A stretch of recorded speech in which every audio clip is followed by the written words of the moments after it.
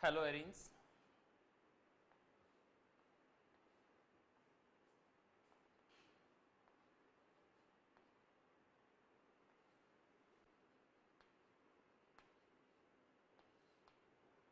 Haloarenes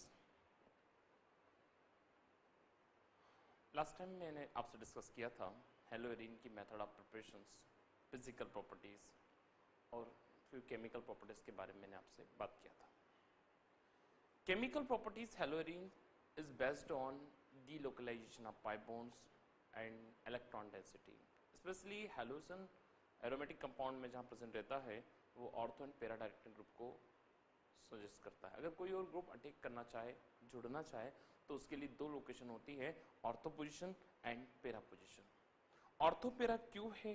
क्यों आता है ऑर्थोपेरा पे? इसके लिए मैंने कल आपको बताया था कि किस तरीके से इलेक्ट्रॉन जो है, वो एक कार्बन बेंजीन रिंग के चेन में डीलोकलाइज होता है और कैसे पाइबोन को वो डीलोकलाइज कर रहा है, one place to another place. और ऑर्थो और पेरा पोजिशन पे इलेक्ट्रॉन का डेंसिटी जनरेट करता है, जिससे वहाँ कोई भी जो न्यूक्लियोफिल सब्सटीट्यूशन का जितने भी पार्ट है, वो सब आसानी से अटैक कर पाते हैं।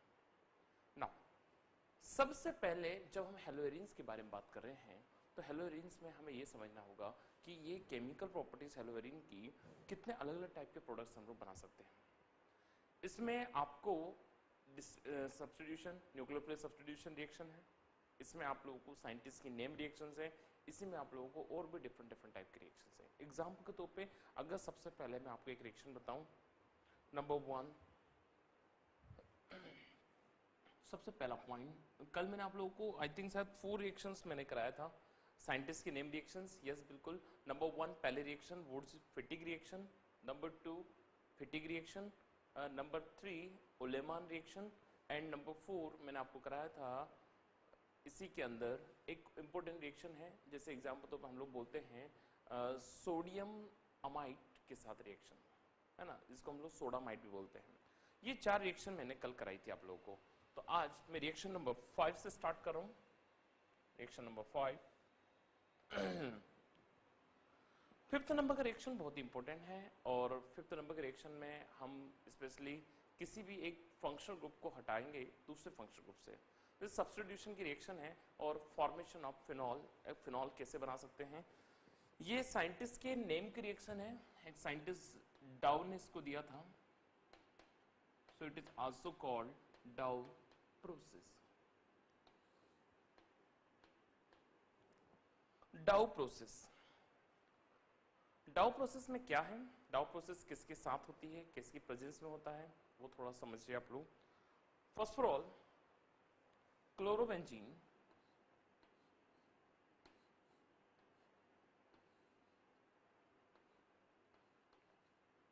chlorobenzene react with sodium hydroxide chlorobenzene का रिएक्शन हम कास्टिक सोडा के साथ करेंगे। Six to eight percent caustic soda है, बहुत कम अमाउंट में है। Reactions occur at 673 kelvin temperature 673 kelvin temperature इतने हाई टेम्परेचर पे ये क्लोरीन इस हाइड्रोजन के साथ जाएगा एस सी एल फ्री हो जाएगा। और यहाँ पे आपको मिलेगा सोडियम फिनॉक्साइड ओ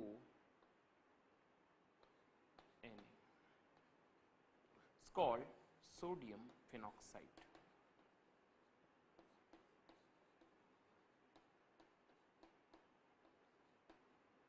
साथ में माइनस एस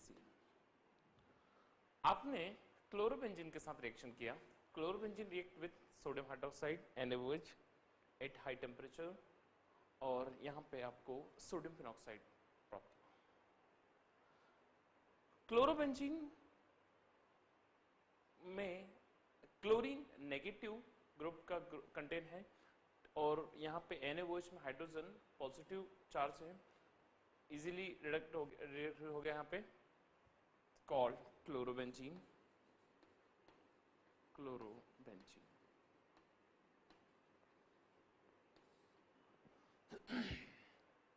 sodium phenoxide का रिएक्शन आपने अब वाटर के साथ किया।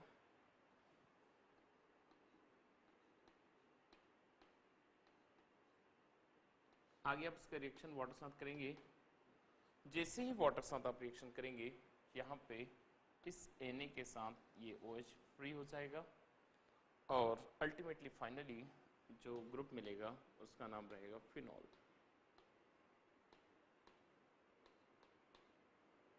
called phenol.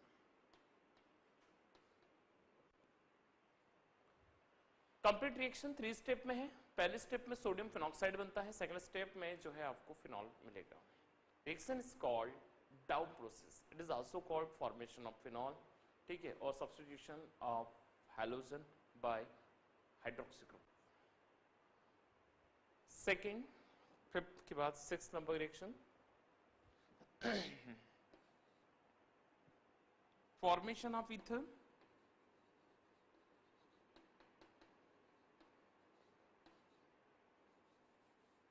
Formation of ether.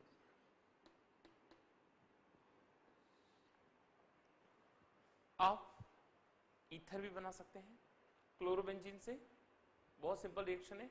एक साइंटिस्ट की नेम रिएक्शन है, जिसका नाम है Williamson's synthesis reaction Williamson synthesis में क्या बताया गया है कि आप किसी भी एक अल्काइल हैलाइड की रिएक्शन एक alkyl halide react with sodium alkoxide sodium phenoxide और एंड सो आप किसी भी अल्काइल हैलाइड अराइल हैलाइड का रिएक्शन सोडियम फेनॉक्साइड के साथ कराते हैं सोडियम मिथॉक्साइड के साथ कराते हैं तो आप देखेंगे कि वहाँ पे आपको ईथर मिलेगा आसानी से।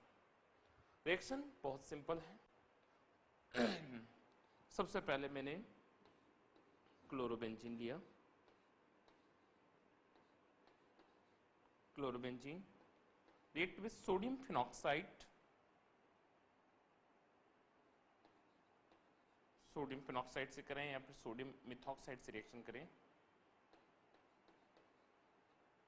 Sodium methoxide N A O C S three sodium methoxide chlorobenzene react with sodium methoxide at constant temperature particular temperature पे आपने रिएक्शन कराया।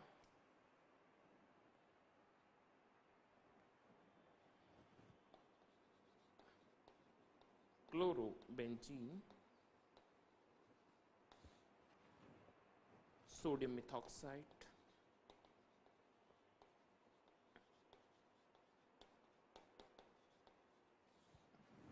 chlorobenzene sodium methoxide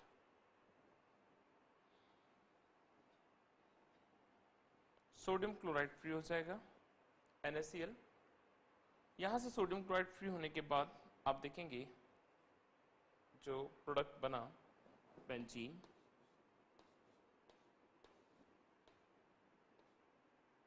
O C six H five O C S three score anisole C six H five O C S three score anisole plus sodium chloride Anisole plus sodium chloride. Chlorobenzene react with sodium hydroxide at high temperature and form sodium peroxide. Sodium peroxide again react with water and form phenols. Second reaction formation of ether chlorobenzene C6H5Cl react with sodium methoxide NaOCH3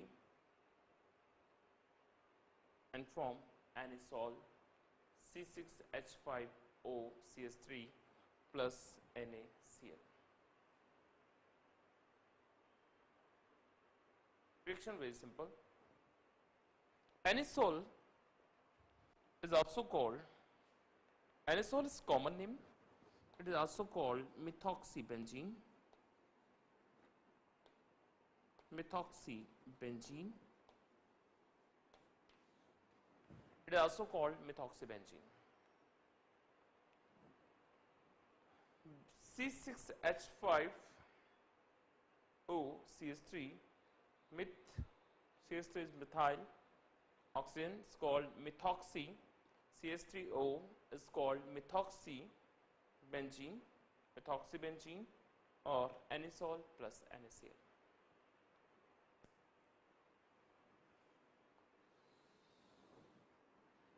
Next, third number reaction. Reaction number 7